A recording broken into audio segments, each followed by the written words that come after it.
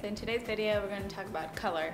Color can enhance your features and make you look brighter and happier and healthier, or it can completely drab you and just bring you down. The point is finding that color and finding what colors work for you. And so the easiest way to find out what flatters you is first of all knowing what skin tone you are, whether you're cool, neutral, or warm toned.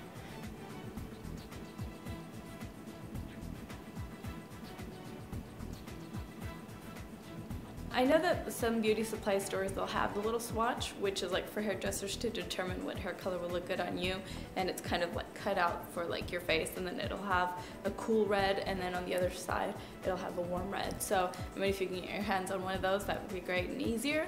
But if not, you can use any one of these other tricks. If you're warm tone, you normally have a little bit more color to your face, but that doesn't necessarily mean that you're tan and you're automatically warm, because that has nothing to do with it. It just means you have warm golden tones in your skin. Your teeth um, is another thing. Some people have like these creamy white teeth, and some people almost have like a bluish tinge to them. If they're the creamy, you're warm tone also holding something up that is warm tone. Say hold up orange and then hold up blue and which one flatters you most. Which one makes your eyes brighter, which one makes your teeth brighter and so forth. Another thing is if you look at the inside of your arms and your veins, if your veins look absolutely blue, like almost a grayish blue, then you are cool tone. And if they look kind of greenish, then you are warm tone.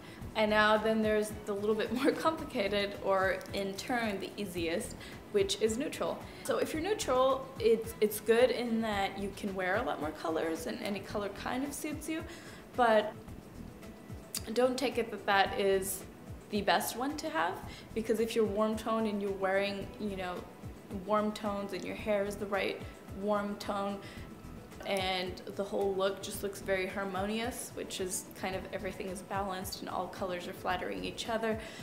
It can be more beautiful and more eye-catching than a neutral look that everything just kind of looks okay, but not necessarily something that's, you know, out there and more eye-catching, if that makes any sense. So my point is that there's not one better than the other.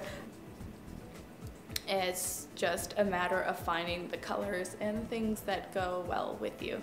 Hope this helps and hope you're in harmony with your colors and wearing all the right tones. So anyway, if you found this helpful, please give it a thumbs up. Thanks for watching as always. Please subscribe and I'll see you in the next video.